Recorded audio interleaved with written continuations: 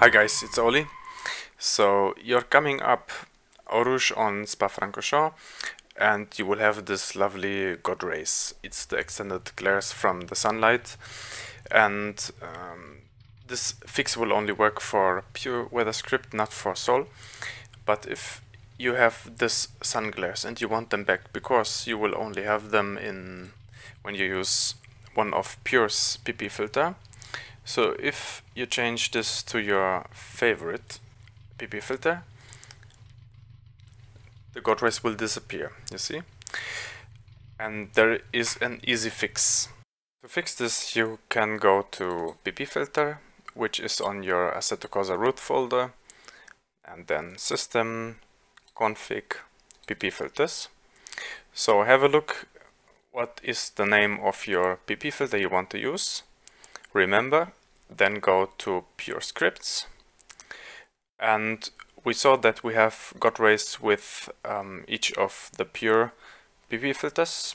I thought the best lightning was on pure um, i dot lua so we will take this copy paste and we will rename this copy exactly the name of our PP filter.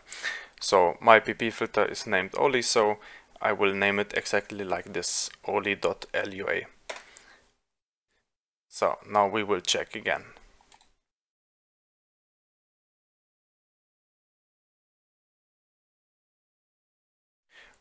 So now we are back at the same spot and we have the exactly same daytime and we will see the God rays and we are using the pure I PP filter and now we can change it to the one of your personal liking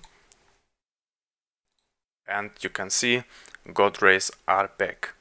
Remember this only works on pure scripts. I haven't found the fix for sol config. Maybe we will find in future, but maybe we will not find. But to this point, I think this will be a fix for everybody who uses pure. Just rename the LUA data um, the same name like your PP filter and you will have the God rays back which are pretty beautiful. Thanks for watching.